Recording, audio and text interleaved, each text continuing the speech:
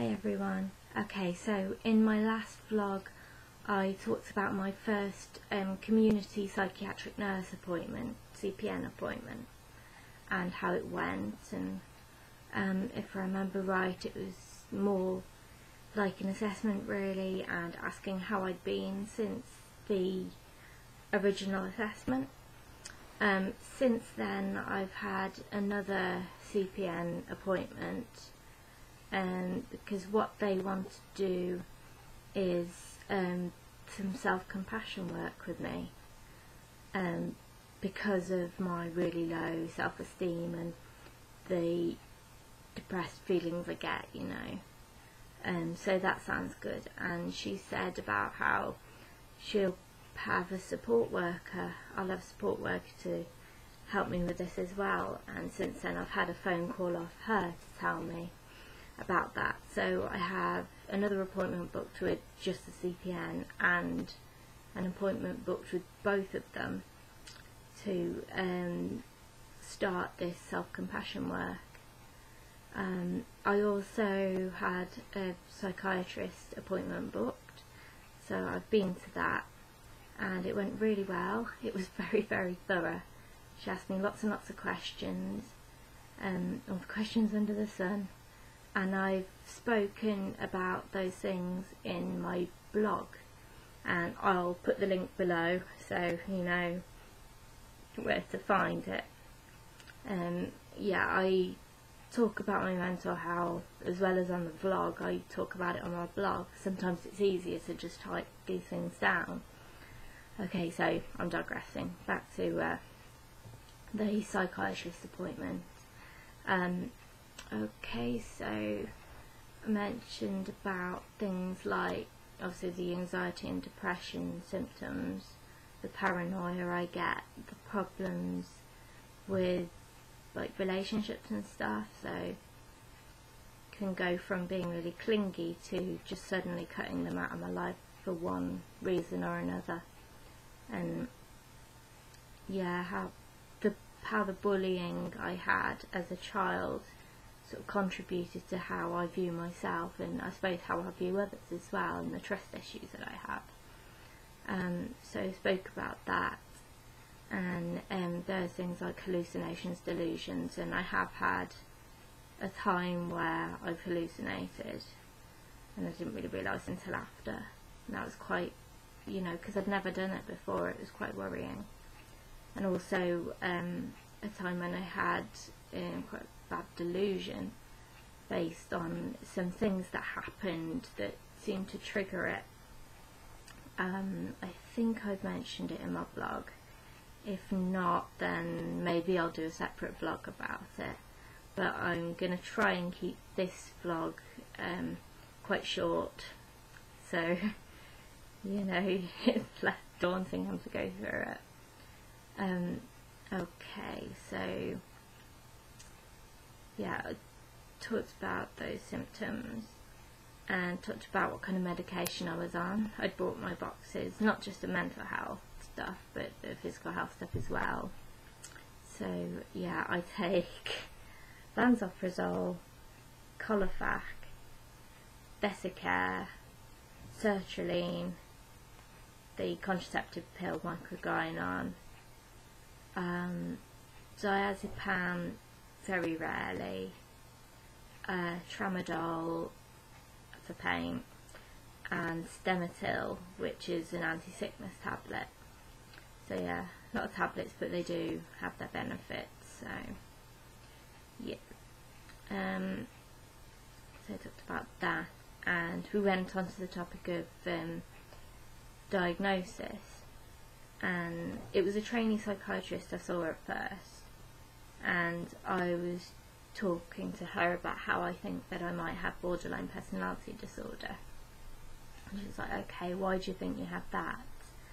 And um, I went through what happened when I mentioned it to my therapist, which you will see in a previous vlog. I'll, I'll, I've explained that in a previous vlog, um, vlog. And um, the diagnostic criteria, how I thought I fit it, and stuff like that. And she seemed to agree with me that it, sounded like BPD, but she wanted to be absolutely sure, so she got the consultant psychiatrist, so like the top bloke. So hopefully that would be um, he'd be an absolute expert on this, you know, he should know that kind of stuff. Um, and he asked me similar questions, you know, maybe a bit more thorough, but um, he concluded that yes, I do have borderline personality disorder.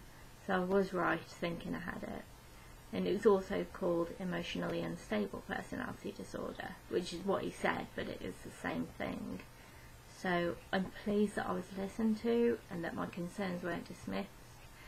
So um, yeah, I'm, it was a good appointment. I'm absolutely exhausted, but it was good. So um, then we moved on onto the topic of tablets, and um, he wants me to stay on the sertraline and the diazepam as needed because they do help a bit. But in terms of the mood swings that I have, we need to get that a bit more stable. So the meds that he's put me on to add to the sertraline are, um, oh how do I pronounce this? Aripiprazole. Um, brand name is Abilify. Um, now it's one I'd heard of before, but yeah, not very good at pronouncing it. Um, so he said the side effects could be that some people do get quite nauseous on it and it can increase your appetite um, so I, I was a bit nervous about that. I mean I, I don't want to gain any weight. Um, if anything I want to lose a few pounds. So um, I was nervous about that but you know it's unfortunately um, aripiprazole is a antipsychotic and they're known for weight gain. So I've just got to hope that I can do enough to counteract that, or at least stay at the same weight. We'll have to see. um, main thing is that hopefully it'll help stabilise my moods, and that's obviously the most important thing. Um, so obviously since then I've started on it, and um, because of the possibility of nausea, I decided to take my anti-sickness tablet before I took the um, Abilify and um, that seemed to help with the nausea. You know, I've only really had mild nausea from it. But what I have been finding, and what's particular bad, particularly bad today, is that I'm very groggy, and it's it kind of feels like I'm hungover, but without the churny feeling. So, um, wonder anybody who's on this medication, what sort of side effects did you have, and did you find that it suited you? Um, I'd be really interested to find out um, how other people, what their experiences of it are.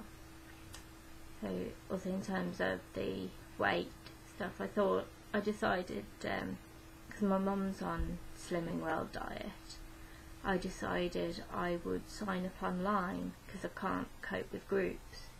So even though they sound really supportive and stuff, it's just a room full of people. I just couldn't cope with it, I'd be too panicky and I wouldn't be able to concentrate on what was said, so it would be a waste of money for me. So the online one seems quite good, so I'm determined to stick to it and hopefully that'll help my weight a bit. Um, so, know if I said, but I'm gonna put the link to my blog below. So you, if you want to find out more about my mental health appointments or whatever, then just visit that and you can have a read through.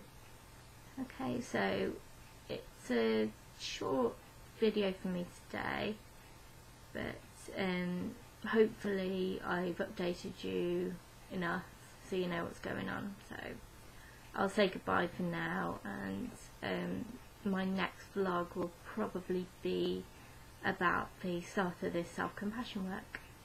Okay, so I will see you soon. Bye.